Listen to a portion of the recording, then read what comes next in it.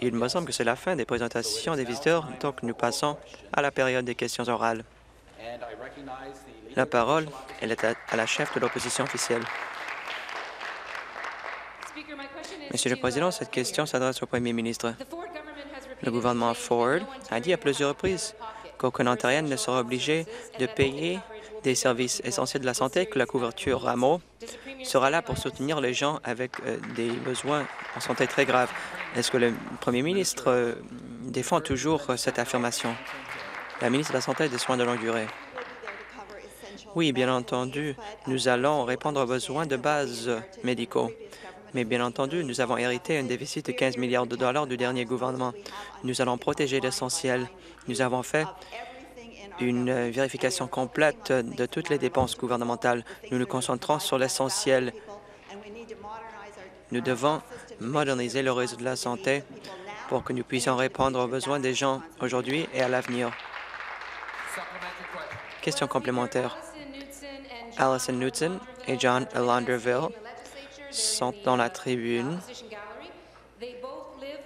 Tous les deux ont une insuffisance rénale et ont besoin de traitement de dialyse pour être en santé. Mais le Premier ministre va éliminer la couverture à l'étranger.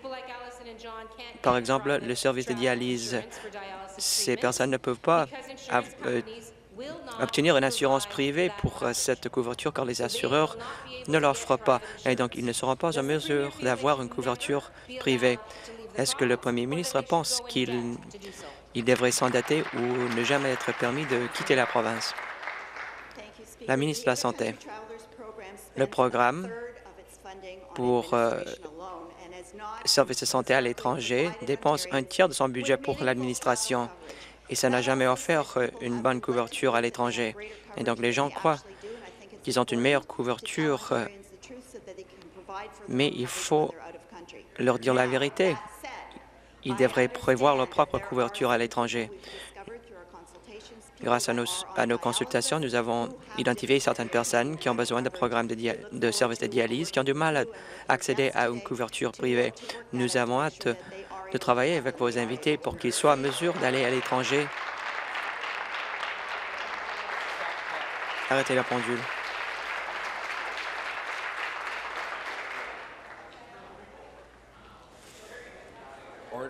À l'ordre. Redémarrer la pendule. Question complémentaire finale. Voici ce qui se passe lorsqu'on coupe avant de consulter. C'est le, le, genre de problème que crée le gouvernement à l'échelle de la province. je peux garantir que la chose la plus importante pour ces deux personnes, c'est la santé. Les Ontariens qui ont besoin de ces services vitaux méritent les mêmes possibilités que toute autre personne en Ontario. C'est pour ça que le réseau de la santé est censé euh, fournir ces services. En raison de ces compressions, le premier ministre mis l'accès d'Alison et John à ses familles à l'étranger pour faire des études à l'étranger. Le premier ministre écoutera-t-il Alison et John et les autres personnes touchées par l'insuffisance rénale? Et va-t-il annuler ces compressions irresponsables? La ministre de la Santé. Merci. Par votre intermédiaire, Monsieur le Président, je dirais à la chef de l'opposition le tiers des dépenses reliées à ce programme pour services de santé à l'étranger était dépensé pour euh, était consacré à l'administration. Ce n'est pas un bon rapport qualité-prix. Nous devons investir plutôt dans les services de première ligne. Nous comprenons qu'il y a certaines circonstances, par exemple les gens sud-dialaises, qui ont du mal à trouver une couverture privée. Nous voulons qu'ils soient en mesure d'accéder à cette couverture pour qu'ils puissent voyager. Et j'implore tous les Ontariens avant de voyager, d'acheter une police d'assurance privée. Elle ne coûte pas cher. Cependant, il y a des circonstances exceptionnelles et nous avons hâte de nous attaquer à ces problèmes en collaboration avec vous. Prochaine question, la chef de l'opposition. Cette question s'adresse au premier ministre, mais la ministre de la Santé vient de reconnaître que les gens seront obligés de payer eux-mêmes la santé et les Ontariennes ne veulent pas devoir payer les services de la santé, car seuls les plus nantis seront en mesure de le faire. Aujourd'hui, le STAR a révélé des documents internes selon lesquels le plan du gouvernement pour des compressions importantes mettrait à risque les familles de la province et, en fait, constitue un danger pour euh, les enfants vulnérables. Le premier ministre a-t-il lu ce document? Et si oui, pourquoi a-t-il coupé un milliard de dollars du ministère des Services à l'enfance? La ministre des Services à l'enfance. Je m'inscris en faux contre la prémisse de la question de la chef de l'opposition. Elle sait pertinemment qu'un milliard de dollars n'a pas été enlevé de ce budget. En fait, le budget a été augmenté de presque 300 millions de dollars. Nous avons fait des investissements historiques pour lutter contre la violence faite aux femmes. Nous avons doublé le financement pour les services d'autisme qui atteint 600 millions de dollars. Nous avons été élus pour rétablir les finances de cette province après 15 ans de mauvaise gestion et des dépenses gaspilleuses. Nous devons protéger l'essentiel, c'est-à-dire euh, de fournir euh, des services de réduction de la pauvreté à l'enfance, à la jeunesse, aux anciens combattants, aux nouveaux arrivants. Voici les gens que nous défendons. Et c'est pour ça que nous nous sommes penchés sur plusieurs options qui nous ont été fournies.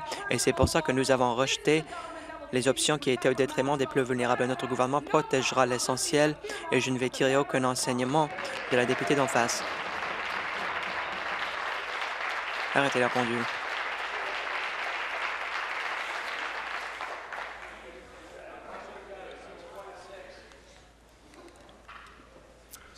Faut démarrer la pendule. Question complémentaire.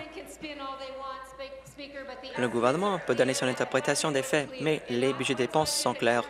Le budget du mois dernier n'a pas tenu compte des avertissements et en fait a apporté compression aux plus vulnérables de la province. Et le gouvernement indique qu'il y aura davantage de compression. Les familles dans le besoin peuvent s'attendre à, combien de souffrances en raison des politiques du gouvernement. Ministre la ministre des Services à l'enfance, la chef de l'opposition continue sa stratégie d'alarmisme. On nous a élus pour protéger l'essentiel. Nous déployons tous les efforts possibles. Nous avons étudié toutes les options et en fait, nous avons rejeté la majorité des options. Mais voici ce qu'a fait ce ministère.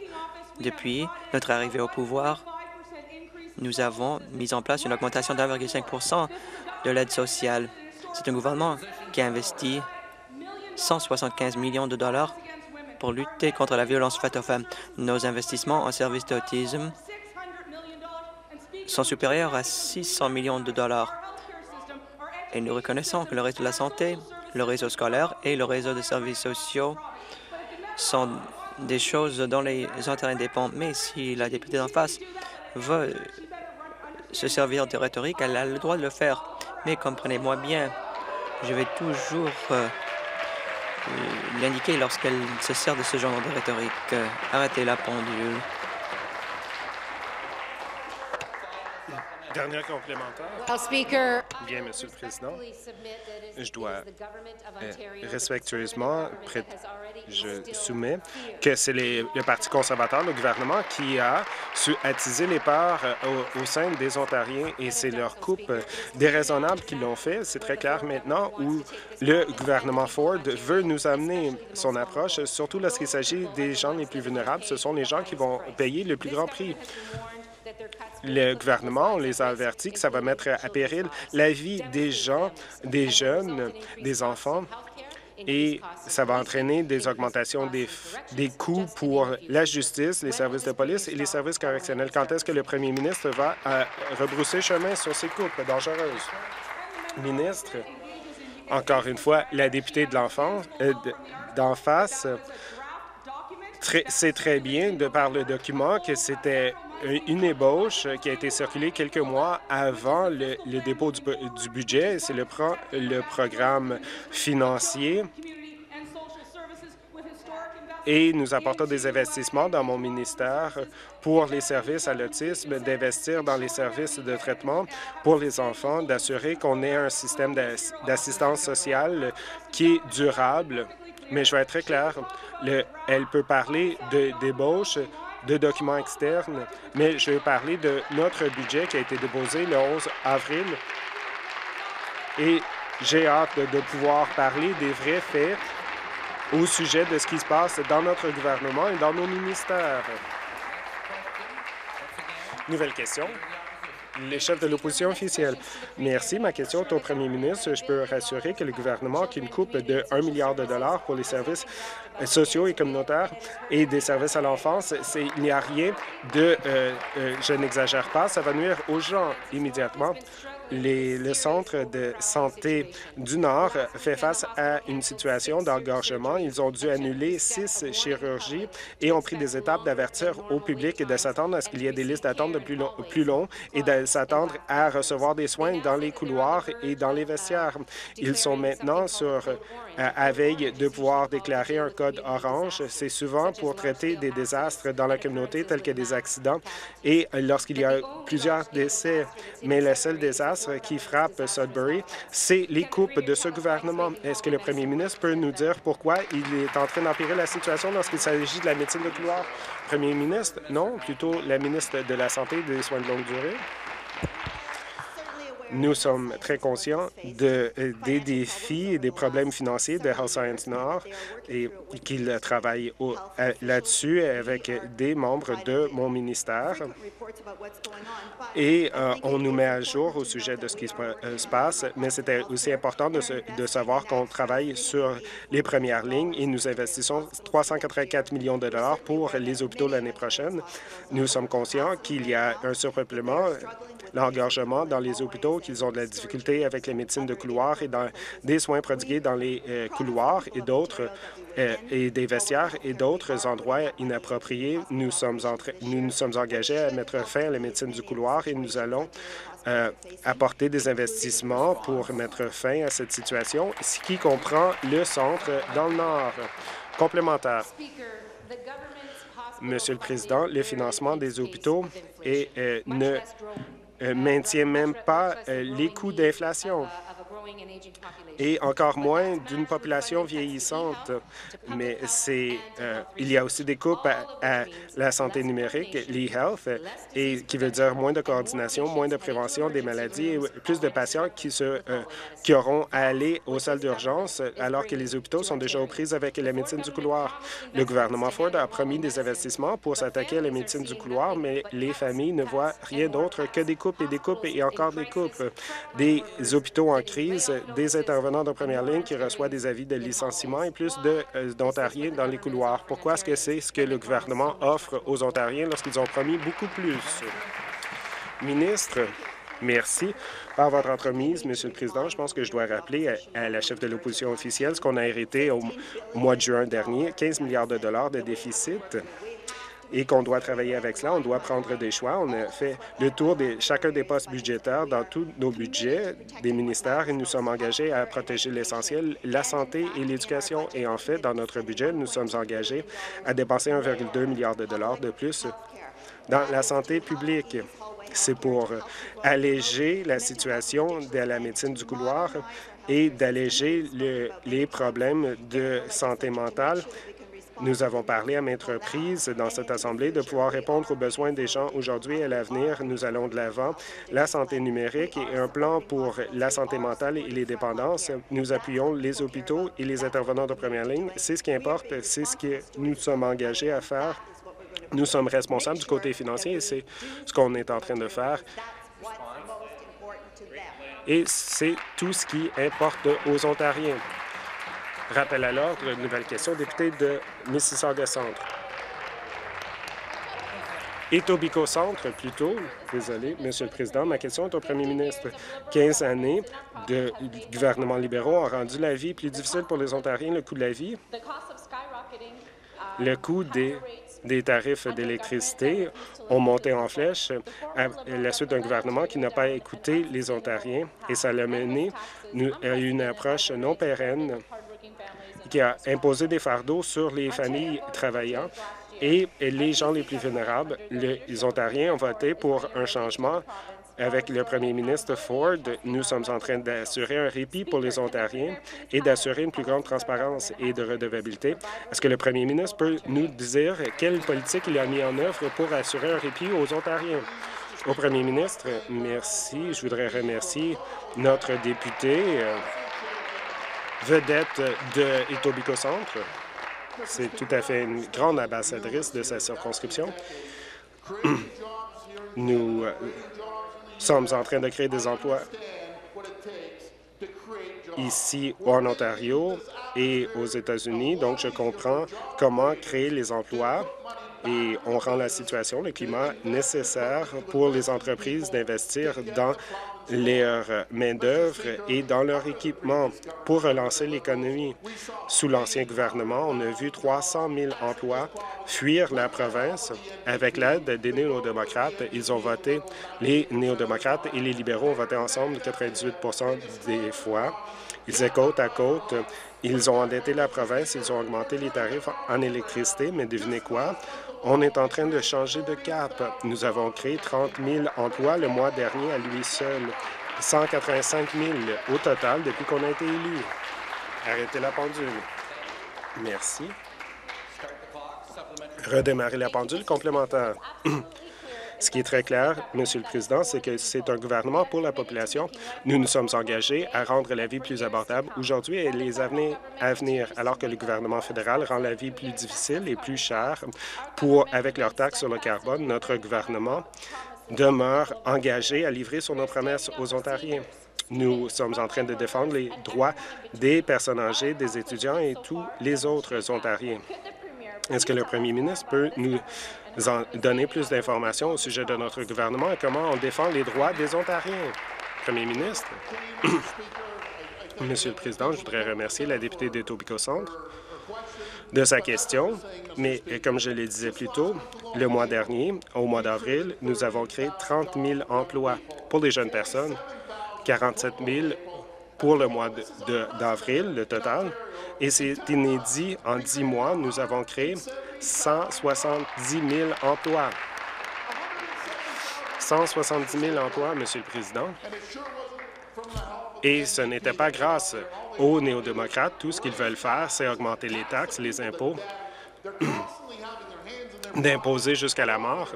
Ils ont toujours la main dans les poches des contribuables, comme les libéraux. Il s'agit de déposer plus de taxes et de dépenser plus. Nous avons adopté notre approche nous avons hérité d'une situation d'une province en faillite. Nous avons hérité un déficit de 15 milliards de dollars, la plus grande dette infranationale au monde. Créée par eux, ils ont détruit la province. Nous sommes en train de changer de cap et d'améliorer les choses.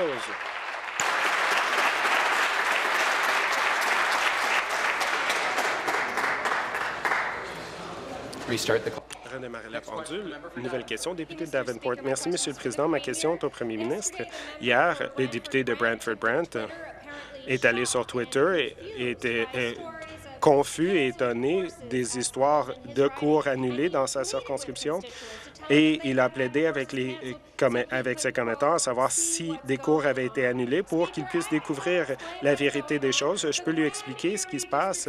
Le conseil scolaire de Grand Erie a déjà euh, réduit euh, son personnel de 21 enseignants primaires et 84 euh, au niveau secondaire. Tout le monde sera touché, toutes les circonscriptions. Jusqu'à maintenant, le premier ministre n'a pas pris la responsabilité pour ces coupes qui entraînent plus de souffrance pour les Ontariens. Est-ce qu'il va écouter ses propres députés? Au premier ministre, premièrement, le, député de Brantford est tout à fait un grand champion de sa circonscription. Il a créé des milliers euh, d'emplois dans sa circonscription. Il écoute sa population, ses commettants. Il a joué un grand rôle pour changer de cap lorsqu'il s'agit de la situation de cette province. Et, mais je voudrais rappeler, à l'opposition, nous avons augmenté le financement de l'éducation de 700 millions de dollars. C'est très simple. Tout, euh, tout le monde peut additionner 2 plus 2, mais peut-être l'opposition ne peut pas le faire. Nous sommes en train de créer plus d'espace pour l'éducation, de remettre l'argent dans les salles de classe. C'est très simple. Vous ajoutez les enseignants et tous les enseignants dans la province. Il y en a 200 000 approximativement et il y a 2 millions d'étudiants. Et fait, additionner, c'est un enseignant pour chaque 10 étudiants. Nous ramenons de l'argent dans les salles de classe pas pour la bureaucratie, pas pour les conseils scolaires. Complémentaire. Merci, Monsieur le Président. Je pense que le premier ministre doit aller retourner lire un budget parce que nous voyons l'incidence de ces coupes dévastatrices dans nos salles de classe aujourd'hui et la situation ne va que s'empirer. Chaque jour, les coupes dévastatrices et l'incidence se font ressentir.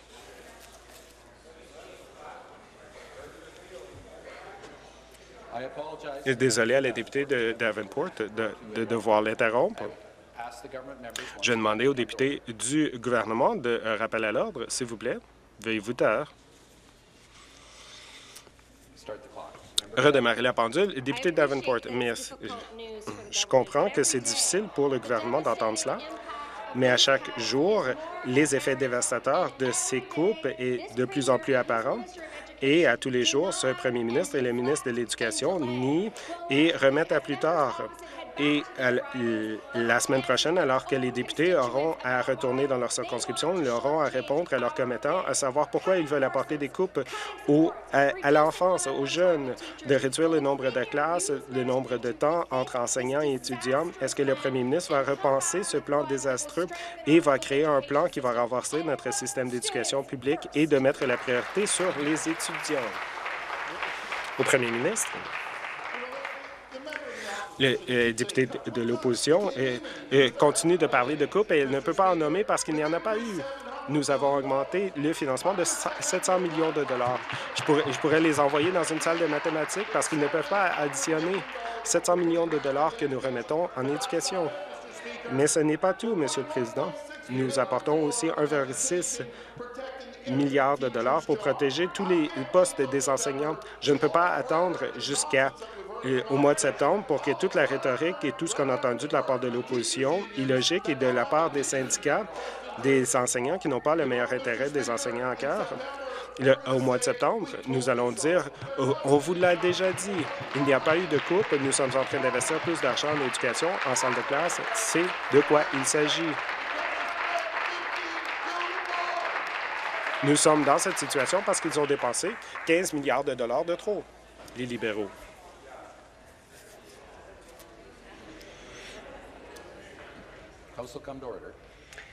Rappel à l'ordre. Redémarre la pendule. Nouvelle question, député de Barry-Innisville. Merci, Monsieur le Président. Ma question est au ministre qui bâtit le succès, le ministre de l'Infrastructure. La semaine dernière, j'étais à Red Rock pour une annonce enthousiasmante que notre gouvernement pour la population entamer le début d'un nouveau traitement des eaux usées. La qualité de l'eau est, essentielle pour les communautés en santé. Ce nouveau investissement appuie l'infrastructure de qualité que les gens ont besoin. Red Rock, le centre de traitement des eaux usées, va rendre la population plus en santé, protéger l'environnement et pour plus de personnes de profiter de la baie de Nippening. C'est important parce que c'est euh, une zone de préoccupation en vertu de, du, de l'accord de l'entente entre les États-Unis et le Canada pour l'assainissement des eaux. Est-ce que le ministre peut nous donner plus d'informations au sujet de cette annonce et comment nous allons faire croître l'économie et l'environnement? Ministre de l'Infrastructure, merci à la députée de Barry-Innisville pour cette très bonne question. Ce nouvel projet de traitement des eaux de Red Rock, l'adjointe parlementaire l'a annoncé, pour notre gouvernement, va profiter à l'économie et à l'environnement. Nous sommes en train de contribuer deux tiers des coûts de ce projet, plus de 17 millions de dollars. cette usine de traitement des eaux va assurer la qualité de l'eau dans la région et protéger les cours d'eau et l'habitat euh, de euh, la faune et des poissons. L'infrastructure importe. Avec cet investissement, nous assurons une qualité d'eau pour la communauté et de se conformer à notre engagement avec notre plan pour la protection de l'environnement. C'est une autre façon que nous mettons l'accent sur la protection de l'environnement sans la taxe de M. Trudeau, la taxe du carbone. Nous protégeons ce qui importe le plus avec cet investissement et nous mettons la priorité sur les Ontariens au sujet de toutes les décisions que nous prenons. Complémentaires. Merci de cette très bonne réponse, Monsieur le ministre. Et ma question complémentaire, c'est de voir les avantages de ce projet non seulement aux gens de Red Rock et de Nippening Bay, mais aussi c'est un autre exemple à savoir comment notre plan de protection de l'environnement fonctionne. C'est un plan pour la protection et non pas un plan de taxes. Ça va protéger notre économie et notre environnement en même temps pour assurer euh, plus de développement économique dans la région de Red Rock et de Nipissing. Après 15 années de mauvaise gestion des finances des néo-démocrates et des libéraux de concert, ça a fait en sorte que les communautés soient dans une plus grande vulnérabilité, mais il y a de l'espoir que notre gouvernement est en train de maintenir de respecter nos promesses pour assurer la viabilité financière. Est-ce que le ministre peut nous dire pourquoi c'est si important de protéger l'essentiel et d'équilibrer le budget pour que nous puissions ramener la prospérité dans cette province? Euh, au ministre, merci de cette très bonne question. De, nous remettre sur la bonne voie, ça veut dire d'assainir nos finances. Nous sommes en train de changer les choses. Nous apportons des investissements au bon moment, au bon endroit.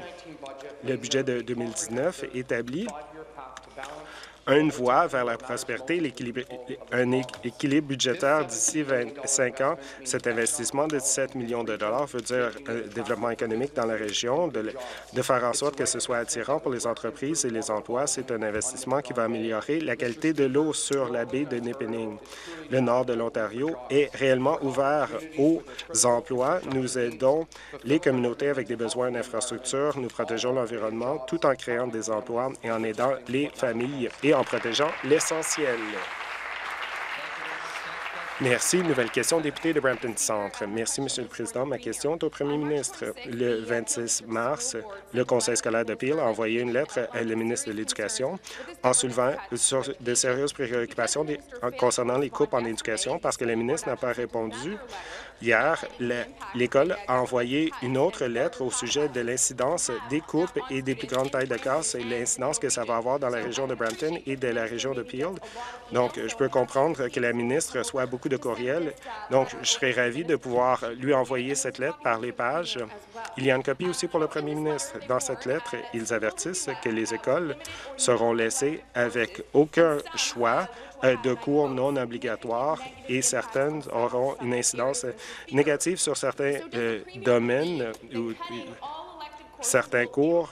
Est-ce que le premier ministre croit que de réduire ces cours va aider l'éducation, va améliorer l'éducation dans la région de Peel et dans d'autres régions? Ministre de l'Éducation, vous savez, c'est une autre journée, une autre occasion pour moi de parler au sujet de, comment on doit nous remettre sur la bonne voie. Nous dépensons 36 millions de dollars sur l'intérêt de la dette et du déficit qu'on a hérité à la suite d'un gouvernement libéral qui a, a malmené la province. Et avec mes consultations partout dans la province, j'entends les enseignants regarder envers le conseil scolaire pour voir ce qu'ils peuvent faire pour faire des économies parce que nous sommes là pour défendre les enseignants, les étudiants, les parents lorsqu'on dit au conseil scolaire arrêtez d'être alarmiste et l'opposition arrêtez l'alarmisme plutôt parce que ils peuvent regarder à l'interne et trouver des économies et on doit se concentrer sur de, protéger l'essentiel et c'est l'environnement d'apprentissage en salle de classe, les conseils scolaires. Interruption du président. Merci. Complémentaire. Merci, Monsieur le Président. Les étudiants partout dans la région de Peel ont critiqué les coupes en, éducation, que ce soit d'annuler des cours ou de euh, mettre à pied des enseignants ou d'augmenter les salles de classe. Les gens sont préoccupés partout dans la province au niveau des cours qui ont été annulés par le Conseil euh, scolaire de Peel. Pour certains étudiants, ces cours sont essentiels pour leur engagement dans l'école et qui inspirent des apprenants. La réduction ou l'annulation de ces cours va réduire l'engagement des étudiants qui est directement en lien avec les succès des étudiants et leur capacité d'être diplômés. Donc, je vais poser la question encore une fois. Pourquoi est-ce que le premier ministre fait en sorte que la situation est si difficile pour que les étudiants puissent avoir tous leurs cours pour avoir leur diplôme euh, secondaire? On a entendu la députée d'en face Cela prouve la décision du fait qu'il faut revoir l'examen des conseils scolaires. C'est de la foutaise. Tout ça, c'est cruel. Et tout ça a un impact négatif sur les élèves. Nous voulons que les conseils scolaires euh, se retroussent, euh, se retroussent les manches pour trouver des efficacités et enfin créer une atmosphère d'apprentissage. Chef de l'opposition, rappelle à l'ordre. Groupe parlementaire de l'opposition, à l'ordre. Ministre, une fois de plus. Pour moi, je suis allumé.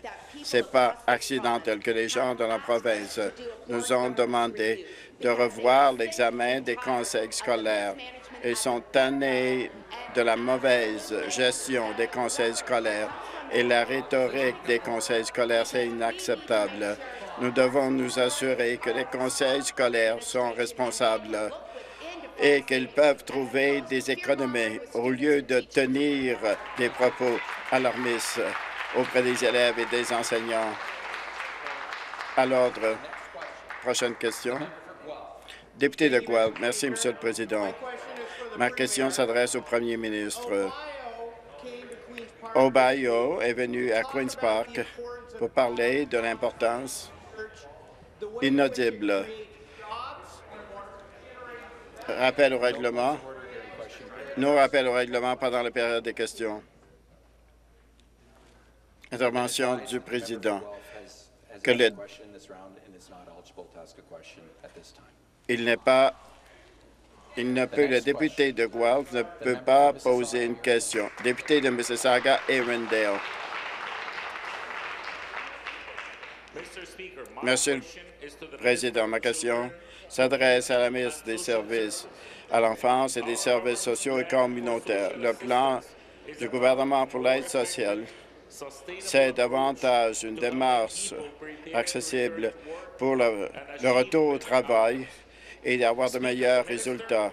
La ministre a souvent dit que la meilleure solution est une société avec passion et le meilleur programme social, c'est l'emploi. Monsieur le Président, le gouvernement a créé 117 000 emplois depuis juin 2018. Est-ce que la ministre peut décrire le programme d'aide sociale et permettra aux plus vulnérables de se sortir de la pauvreté? Ministre des services à l'enfance et des services sociaux et communautaires, je suis heureuse de répondre à la question. L'aide sociale coûte à la province 10 milliards de dollars. Une personne sur sept se retrouve dans la pauvreté. Il faut trouver une solution. Au cours des 15 dernières années, les gens ont dû aller sur l'aide sociale.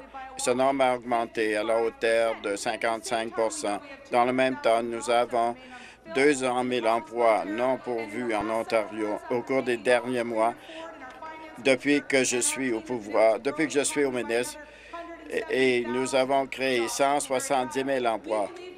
On pense qu'il y a des milliers d'emplois pour les personnes sur l'aide sociale qui méritent la dignité d'un emploi. Voilà pourquoi on écrit, on prévoit des services euh, continus pour former les personnes pour les emplois, pour qu'ils puissent avoir un chèque, un chèque des entreprises pour s'occuper d'eux-mêmes et de leur famille. C'est la meilleure solution complémentaire. Merci à la ministre pour le travail qu'elle fait pour aider les plus vulnérables. Plus d'un million d'Ontariens sont sur l'aide sociale. Sous l'ancien gouvernement, ces personnes avaient un programme discontinu dans un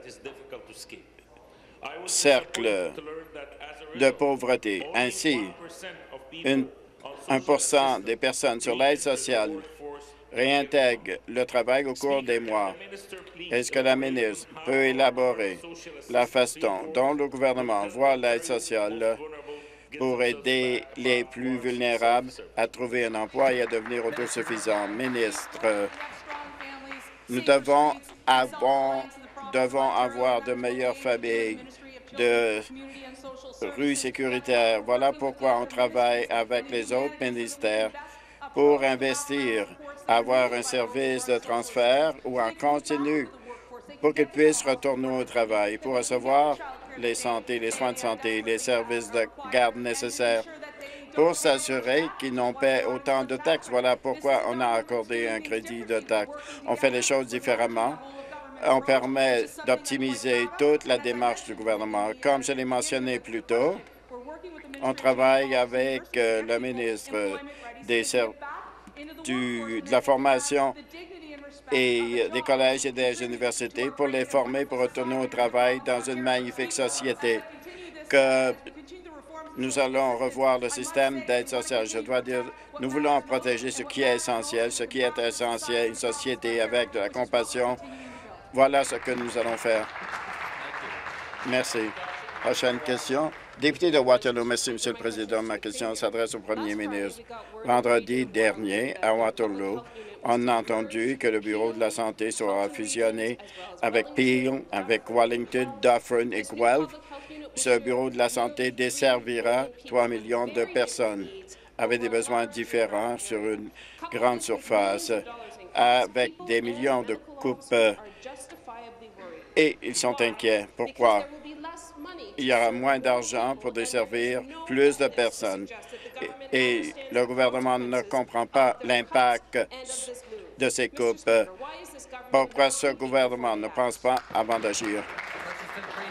Question au premier ministre. Ministre de la Santé et des soins de, longue durée. Nous revoyons le réseau de la santé pour intervenir et satisfaire aux besoins des Ontariens. Maintenant, il y a l'avenir, le document auquel elle renvoie. C'est un document consultation. Aucune décision n'a pas été prise. Une décision qui s'est prise avec les bureaux de santé et avec les municipalités. Au fin de la discussion, il n'y a rien de, décisif qui a été pris. Nous allons avoir des, discussions. Nous allons rencontrer les bureaux de la santé et les municipalités. Il, il n'est pas nécessaire d'appuyer sur le bouton de panique. Malgré tout, le Bureau de la santé de Bureau qu'il n'y a pas eu de consultation sur les nouvelles descriptions. On n'a pas reçu de raison pourquoi, comment faire les choses. Le Bureau de la santé fonctionne parce qu'il empêche la propagation des maladies. Pour chaque dollar dépensé, il y a 45 dollars d'économie au réseau de la santé. Ce sont des investissements intelligents dans le réseau de la santé ou lorsque les hôpitaux sont, sur, euh, sont saturés, un plus grand nombre de personnes qui meurent. Ces coupes à la santé publique sont irresponsables. Les experts dans le domaine disent au gouvernement, pourquoi est-ce que vous n'écoutez pas? Faites vos commentaires par la présidence. Ministre de la Santé et des Soins de longue durée. Merci, Monsieur le Président. Les consultations ont lieu. Il y a des techniques, des tables techniques. Il y aura des consultations avec les bureaux de la santé, avec les municipalités concernant les délimitations pour s'assurer de satisfaire aux besoins des Ontariens avec le budget qu'ils auront en santé publique. Ils seront en mesure de satisfaire aux besoins des collectivités en s'assurant que les gens sont vaccinés que les enfants ont un petit déjeuner et un déjeuner et que les gens avec des besoins particuliers sont satisfaits. Nous le ferons si les gens fixent des priorités. Nous sommes responsables des deniers publics. On assume notre responsabilité au sérieux et les bureaux et on souhaite que les bureaux de santé publique fassent de même. Prochaine question, député de Vaughan. Merci. Ma question s'adresse à la solliciteur générale. Quelle que soit notre allégeance, on doit défendre la tolérance et l'inclusion. En 2019, dans cette démocratie libérale, il y a davantage de crimes haineux, y compris de l'antisémitisme perpétue l'intimidation Il revient à nous tous de dénoncer cette haine dans ma propre collectivité à l'échelle de la province et dans le monde. On a vu un plus grand nombre de crimes haineux jamais enregistrés contre les Juifs et plus récemment, les nouveaux actes d'antisémitisme à la solliciteur générale. Allez-vous faire une campagne pour combattre toutes les formes d'haine, y compris l'antisémitisme dans cette province? Solliciteur général. Merci, Monsieur le Président. Merci au député de King Vaughan pour avoir soulevé cet enjeu important aujourd'hui. Cela mérite l'attention de tous les députés. Le gouvernement n'a aucune tolérance pour les crimes de haine, de violence, quelle que soit la forme. Ce n'est pas un enjeu partisan. Et je sais que les députés des deux côtés vont se joindre à nous pour dénoncer la discrimination raciale. Soyons clairs, l'Ontario est l'un des endroits les plus inclusifs et acceptables dans le monde pour les minorités. Mais il y a davantage de crimes de haine par des personnes qui cherchent à diviser les communautés.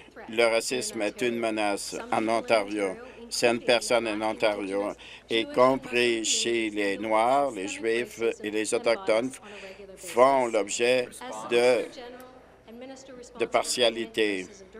En tant que responsable, je peux dire, nous allons prendre des mesures, adopter des mesures pour éliminer ces gestes de haine complémentaires. De retour à la ministre, Sir Weston Churchill a dit ceux qui refusent de tirer des enseignements de l'histoire, l'histoire va se répéter. Nous devons intervenir l'antisémitisme augmente dans le monde, que ce soit à Toronto, à Paris, à Buenos Aires, ici. On s'attend à ce que tous les gouvernements de dénoncer la violence et de division avec la prolifération de gestes haineux contre les Juifs et incombe au gouvernement fédéral d'avoir des politiques qui font la promotion les valeurs de la liberté à la solliciteur générale. Pouvez-vous décrire les mesures adoptées par le gouvernement pour assurer la sécurité, défendre les victimes et de s'attaquer à ceux qui s'attaquent aux personnes en raison de leur confessionnalité? Ministre du solliciteur général. Merci aux députés. Le gouvernement a un rôle à jouer pour éliminer toute forme de haine et l'antisémitisme. Et on travaille avec tous les partenaires et les Ontariens pour s'attaquer à ces menaces pour la sécurité de tous et chacun. En tant que gouvernement, on a promis de donner aux policiers les outils nécessaires pour faire le travail, y compris lutter contre les crimes haineux pour une société plus inclusive.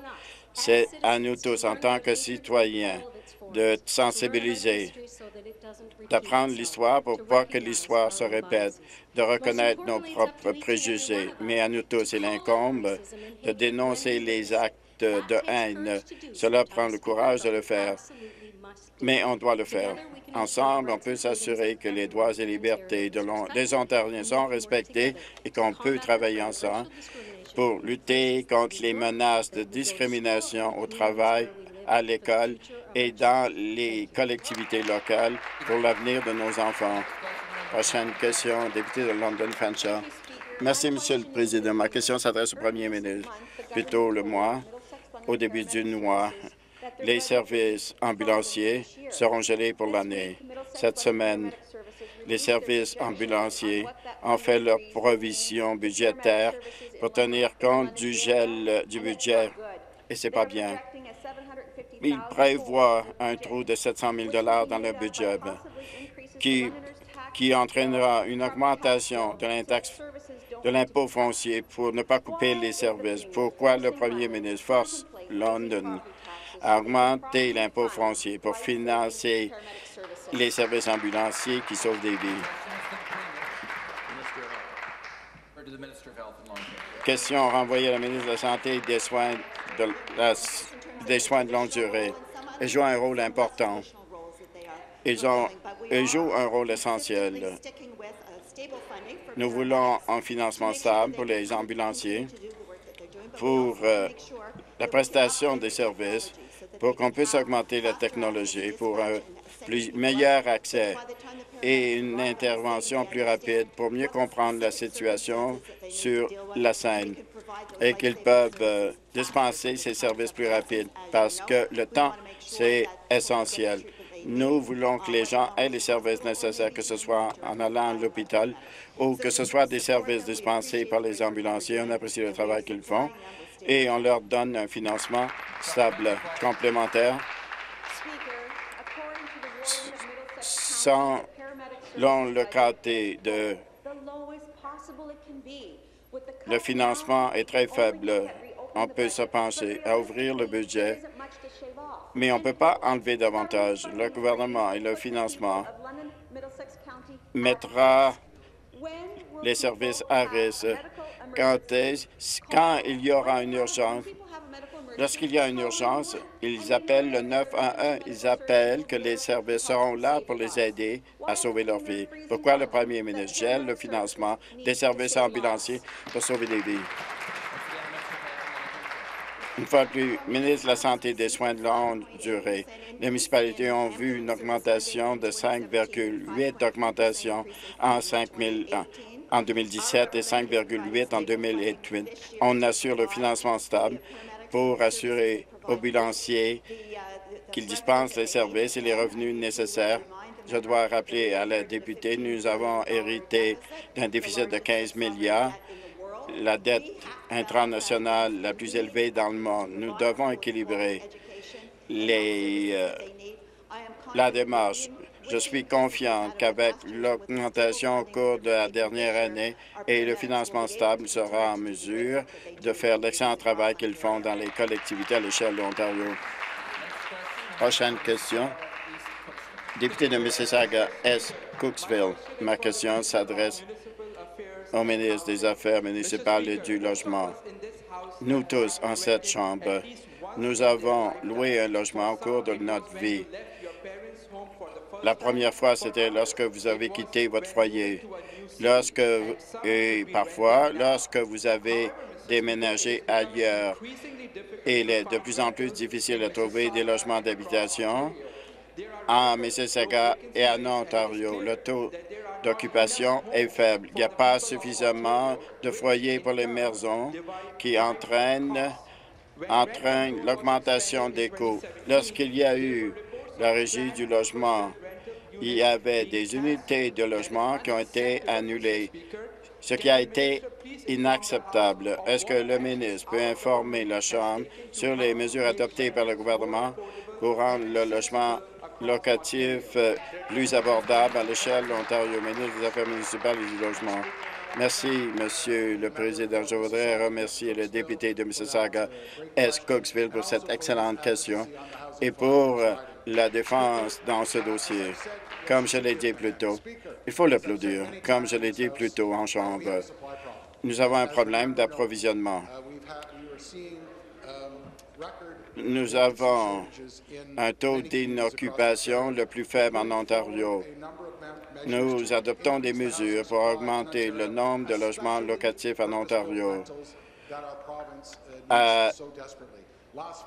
Nous voulons également augmenter le nombre de logements locatifs à long terme tout en protégeant les locataires. Et cela crée une atmosphère d'investissement pour créer davantage de logements locatifs.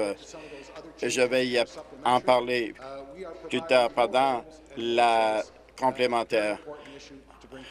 Nous construisons davantage d'habitations et nous offrons davantage d'options.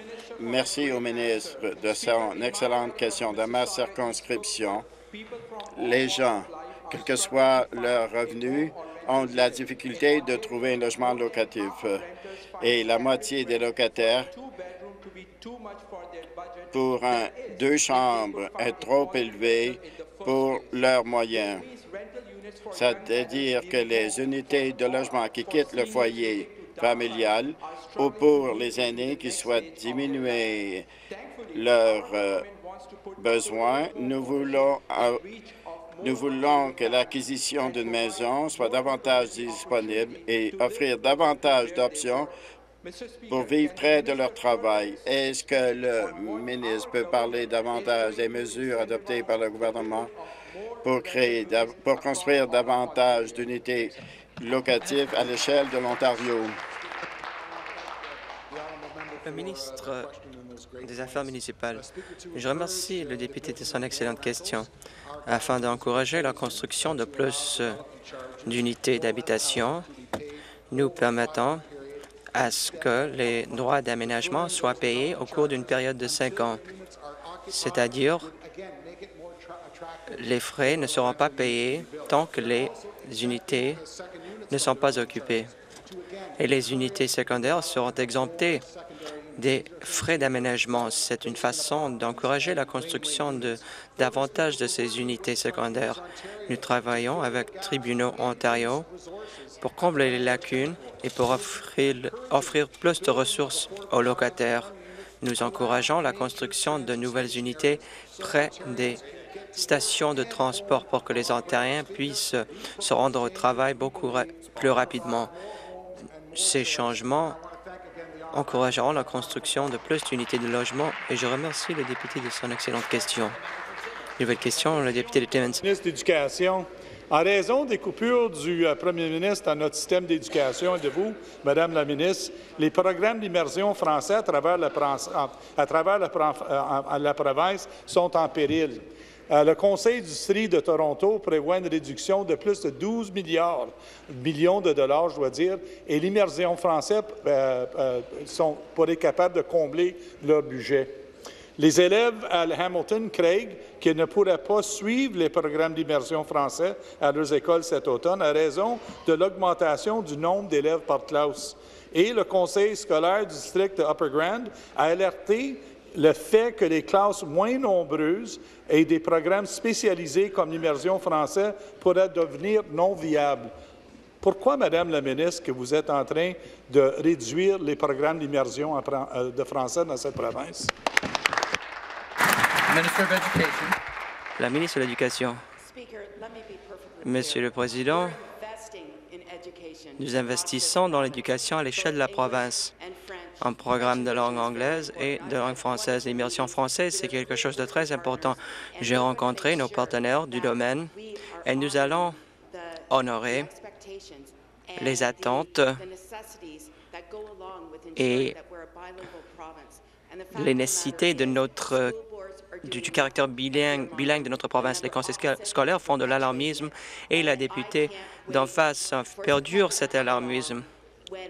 En septembre, les enseignants seront là, les cours seront offerts et en fait, nous nous concentrons sur les résultats des élèves.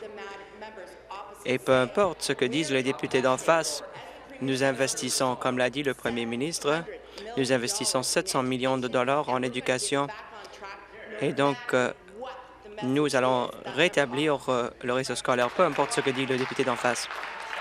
Complémentaire.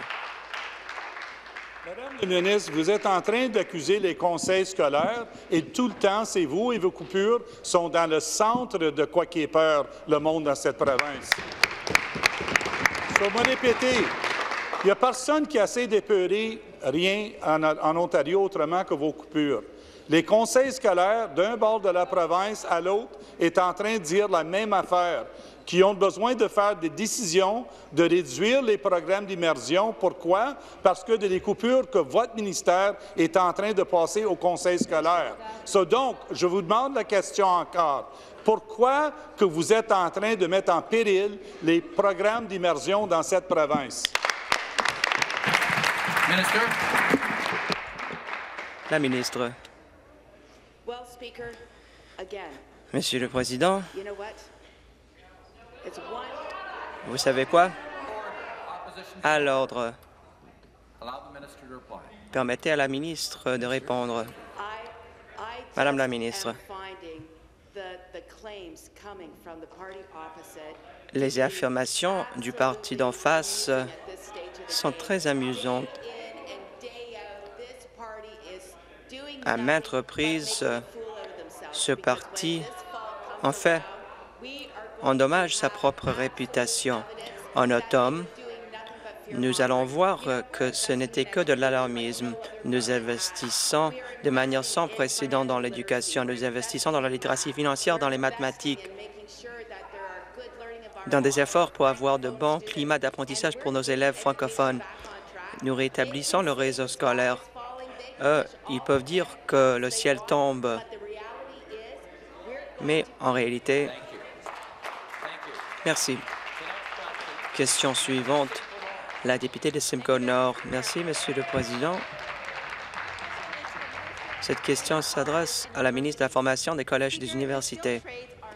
Monsieur le Président, les métiers spécialisés jouent un rôle essentiel dans notre économie, mais cependant, il y a énormément de postes à pourvoir.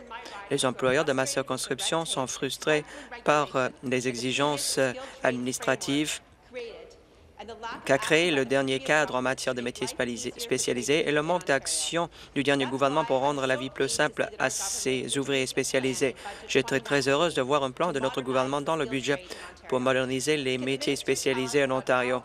La ministre peut-elle nous dire comment la modernisation des métiers, spécialisés fera en sorte que l'Ontario soit ouverte aux affaires et à la création d'emplois? La ministre de la Formation Merci à la députée de Simcoe Nord de son excellente question. Contrairement au NPD, notre gouvernement est déterminé à faire en sorte que l'Ontario soit ouvert aux affaires et à la création d'emplois en nous attaquant aux fardeaux auxquels font face les ouvriers spécialisés. Nous avons adopté un projet de loi qui a réduit le ratio entre compagnons et apprentis. Dans le budget de 2019, nous avons déposé un projet de loi qui, si adopté, créera un réseau flexible pour les ouvriers spécialisés de la province. Il y aura moins de tracasseries, les, programmes seront simplifiés et nous allons faire de la promotion de cette excellente carrière. Ce nouveau cadre permettra à notre main-d'œuvre de répondre aux besoins du marché du travail. L'Ontario sera ouverte aux affaires est ouverte à la création d'emplois. Question complémentaire. Merci à la ministre de sa réponse. C'est excellent que nous nous attaquons au cadre en matière d'ouvriers spécialisés qui ne fonctionnaient pas. Nous sommes à l'écoute des employeurs. Notre plan s'attaque aux fardeaux administratifs et fera en sorte que l'Ontario soit ouverte aux affaires. Notre gouvernement comprend à quel point il est important de, s'attaquer à cet écart de compétences et de dégager des possibilités de carrière pour nos jeunes. La ministre pourrait-elle nous expliquer la manière par laquelle ce plan entraîne la création de bons emplois en Ontario? La ministre de la Formation, merci à la députée de cette question. Les employeurs nous ont dit haut et fort que notre plan porte fruit. En comité, Stephen Hamilton de l'Association des constructeurs de maisons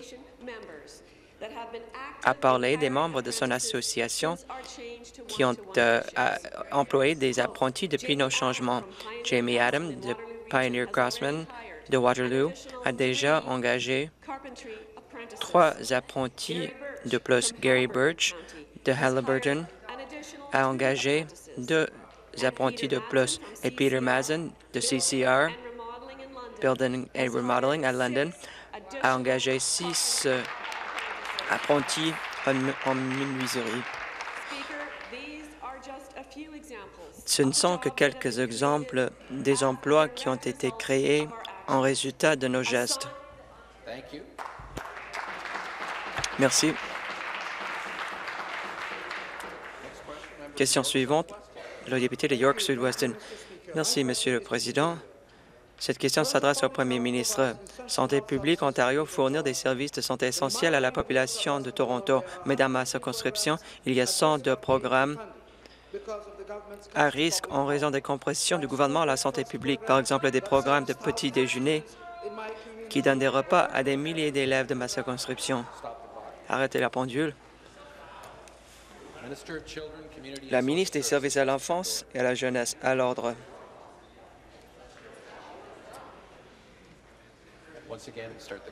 Redémarrer la pendule. Le député. Monsieur le Président, cette question s'adresse au Premier ministre. Santé publique Toronto fournit des services de santé essentiels à la population, mais dans ma circonscription, il y a 102 programmes qui sont à risque en raison des compressions du gouvernement à la santé publique, par exemple des programmes de petit déjeuner qui servent des milliers d'élèves ou des soins bucco-dentaires pour personnes âgées. Pourquoi le gouvernement tourne-t-il le dos aux Ontariens et au bien-être de la population? La ministre de la Santé et des Soins de longue durée. Je suis d'accord, la santé publique est très importante et nous sommes déterminés à fournir à la Ville 114 millions de dollars pour la santé publique cette année, ce qui leur permettra de fournir les services essentiels d'immunisation, de petits déjeuners, ces programmes de petit déjeuner sont financés partiellement par le ministère des Services communautaires qui finance également les programmes visant à soutenir les enfants ayant des besoins particuliers. Mais si le Bureau de santé à Toronto se concentre sur son budget, elle sera en mesure de fournir ces programmes, mais plutôt de faire une vérification complète de toutes leurs dépenses, comme nous l'avons fait la réponse automatique, c'est haussons les taxes. Mais ce n'est pas la réponse. La Ville de Toronto doit faire le travail qui s'impose et doit déterminer quels changements doivent être apportés afin de pouvoir fournir ces services publics essentiels. Question complémentaire. Cette question s'adresse encore une fois au Premier ministre. Nous devons tirer des enseignements du passé pour que l'histoire ne se répète pas. Les bureaux de la santé ont été identifiés comme une manière d'éviter des tragédies comme à Walkerton ou comme la tragédie de Strass. Les investissements en santé publique sont essentiels pour que l'Ontario soit en santé, mais couper le financement à la santé publique et mettre à risque une centaine de programmes de la santé à York Sud-Weston dans ma communauté serait nuisible à la santé à long terme de notre communauté. Le gouvernement fera-t-il ce qui s'impose et annulera-t-il les compressions à la santé publique à l'échelle de la province? La ministre.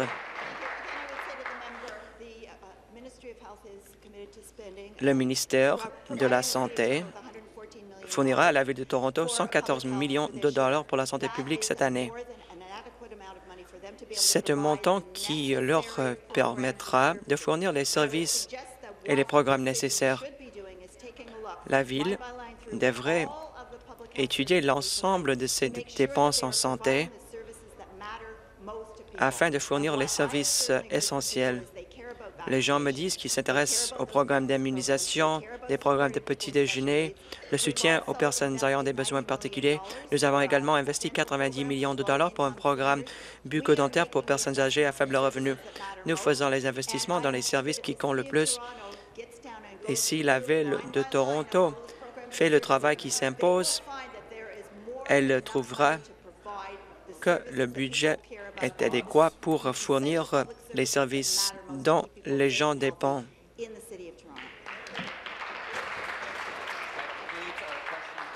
Le temps pour la période des questions est écoulé. Le député de Sudbury a un rappel au règlement. Merci. Un rappel au règlement. J'aimerais apporter une rectification ce matin.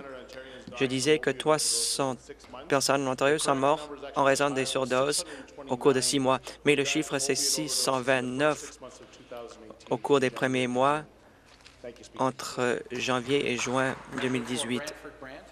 Le député de Brantford Brant. J'aimerais souhaiter la bienvenue à ma fille. Elle fait ses études au Collège Mohawk. Je suis très fier de ses réalisations. Elle sera toujours ma petite fille. Merci d'être venu à Queen's Park.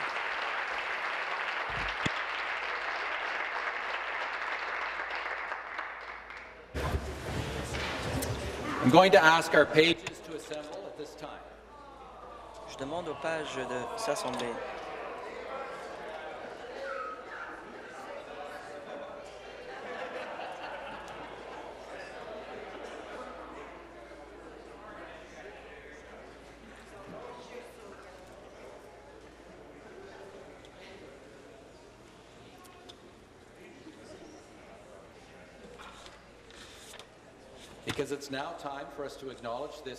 C'est le moment de reconnaître l'excellent travail de ce groupe de pages.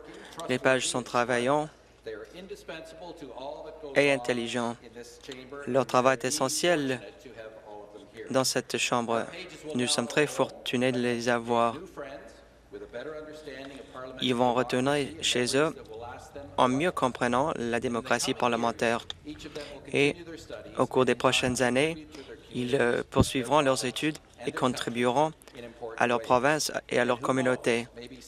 Peut-être un jour, euh, ils siégeront dans cette Chambre comme députés. Nous vous présentons nos meilleurs souhaits. Donc, je demande aux députés de faire preuve de notre appréciation envers ces pages.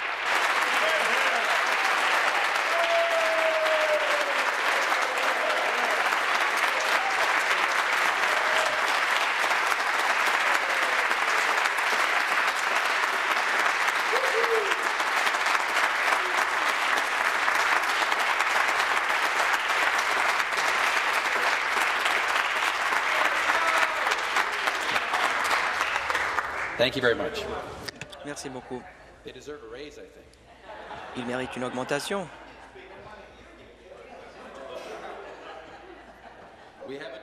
Nous avons un vote différé sur la motion portant deuxième lecture du projet de loi 107, loi modifiant le Code de la route et diverses autres lois reliées aux questions de transport. Convoquer les députés, sonnerie de cinq minutes.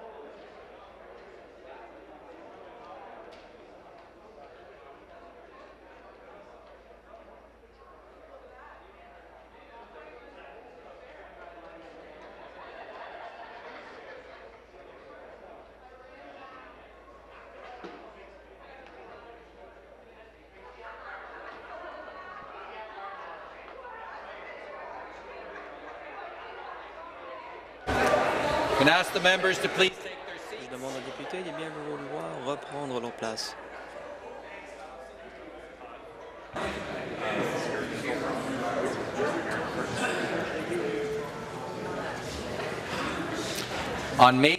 Le 8 mai 2019, M. York a proposé la deuxième lecture du projet de loi 107. Tous ceux qui sont pour la motion se lèveront à tour de rôle. Mr. Urick. Mr. Urick. Mr. Walker. Mr. Walker. Mr. Smith Bay Quincy. Mr. Smith Bay Quincy. Ms. Thompson. Ms. Thompson. Mr. Bethan Falvey. Mr. Bethenfalvey. Mr. Ford. Mr. Ford. Ms. Elliott. Ms. Elliott. Ms. Mulrooney. Ms. Mulrooney. Ms. McLeod. Ms. McLeod. Mr. Clark. Mr. Clark. Mr. Yakubuski. Mr. Yakubuski. Mr. Hardiman. Mr. Hardiman. Mr. Tabolo. Mr. Tabolo. Mr. Barrett. Mr. Barrett. Mrs. Marteau. Mrs. Marteau. Mr. McDonnell. Mr. McDonnell. Mr. Bailey. Mr. Bailey. Ms. Fullerton. Ms. Fullerton. Ms. Jones. Ms. Jones. Mr. Cho Scarborough North. Mr. Cho Scarborough North. Mr. Rickford. Mr. Rickford. Mr. Miller Perry Samuskoka. Miller Perry Samuskoka. Mr. Lecce. Mr. Lecce. Mr. Coe. Mr. Coe. Mr. Downey. Mr. Downey. Mr. Gill. Mr. Gill. Mr. Cook. Mr. Cook. Mr. Calandra. Mr. Calandra. Ms. Surma. Ms. Surma. Mr. Parsa. Mr. Parsa. Ms. Skelly. Ms. Skelly. Mrs. Martin. Mrs. Martin. Ms. Trantafilopoulos. Ms. Trantafilopoulos. Mr. Sarkaria. Mr. Sarkaria. Mr. Osterhoff. Mr. Osterhoff. Ms. Park. Ms. Park. Ms. McKenna. Ms. McKenna. Mr. Nichols. Mr. Nichols. Ms. Kusendova. Ms. Kusendova. Mr. Romano. Mr. Romano. Mr. Harris. Mr. Harris. Ms. Hogarth. Ms. Hogarth. Mrs. Carharlios. Mrs. Carharlios. Mrs. Fee. Mrs. Fee. Mr. Cho Willowdale. Cho Willowdale. Mr. Crawford. Mr. Crawford. Ms. Kanjan. Ms. Kanjan. Mr. Pacini. Mr. Pacini. Mrs. Y. Mrs. Y. Mrs. Tangri. Mrs. Tangri. Mr. Anand. Mr. Anand. Mr. Rashid. Mr. Rashid. Mr. Sandu. Mr. Sandu. Mr. Smith Peterborough Kawartha. Mr. Smith Peterborough Kawartha. Mr. Bauma. Mr. Bauma. Mr. Cazzetto. Mr. Cazzetto. Ms. Dunlop. Ms. Dunlop. Mr. Kanapathy. Mr. Kanapathy. Mr. Babikian. Mr. Babikian. Mr. Baber. Mr. Baber. Mr. Pang. Mr. Pang. Mr. Tanigasalam. Mr. Tanigasalam. Mr. Roberts. Mr. Roberts. Mr. Sabawi. Mr. Sabawi. Tous ceux qui sont contre la motion se lèveront à tour de rôle. Ms. Bell. Ms. Bell. Madame Jalina. Madame Jalina. Mr. Tabin. Mr. Tabin. Ms. Singh, Brampton Center. Mr. Singh, Brampton Center. Monsieur Bisson. Monsieur Bisson. Mr. Bisson. Ms. Horvath. Ms. Horvath. Mr. Natashak. Mr. Natashak. Ms. Fife. Ms. Fife. Ms. Sattler. Ms. Sattler. Ms. Begum. Ms. Begum. Ms. Shaw. Ms. Shaw. Mr. Yard. Mr. Yard. Ms. Carpoche. Ms. Carpoche. Mr. Manta. Mr. Manta. Ms. Armstrong. Ms. Armstrong. Ms. Stiles. Ms. Stiles. Mr. Kernahan. Mr. Kernahan. Mr. West. Mr. West. Mrs. Stevens. Mrs. Stevens. Mr. Gates. Mr. Gates. Mrs. Gretzky. Mrs. Gretzky. Ms. French. Ms. French. Mr. Miller, Hamilton East, Stony Creek. Mr. Miller, Hamilton East, Stony Mr. Creek. Singh, Brampton East. Mr. Singh, Brampton East. Ms. Andrews. Ms. Andrews. Mr. Hatfield. Mr. Hatfield. Ms. Taylor. Ms. Taylor. Mr. Birch. Mr. Birch. Ms. Burns McGowan. Burns McGowan. Mr. Arthur. Mr. Arthur. Mr. Glover. Mr. Glover. Ms. Morrison. Ms. Morrison. Mr. Rakosovic. Mr. Rakosovic. Mr. Hardin. Mr. Ms. Hardin. Ms. Hon- Ms. Monteith Farrell. Ms. Monteith Farrell. Mr. Hassan. Mr. Hassan. Mr. Schreiner. Mr. Schreiner.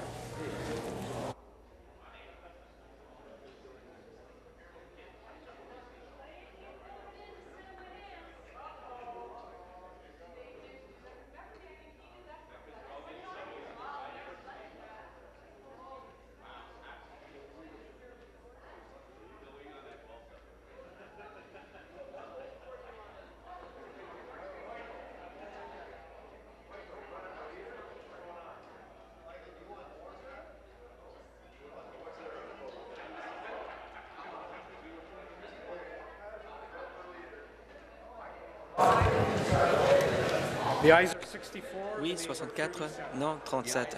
Les oui étant 64, les non étant 37, je déclare la motion adoptée. Deuxième lecture du projet de loi. Conformément à l'ordre de la Chambre du 15 mai 2019, le projet de loi est renvoyé au Comité permanent des affaires gouvernementales. La chef de l'opposition, un rappel au règlement. Monsieur le Président, j'aimerais reconnaître la présence de Kerry Lee Crawford de G987 qui est là car cet après-midi, on rendra hommage à Fitzroy Gordon. C'est important de reconnaître sa présence. Les travaux de cette Chambre reprendront à 13 heures.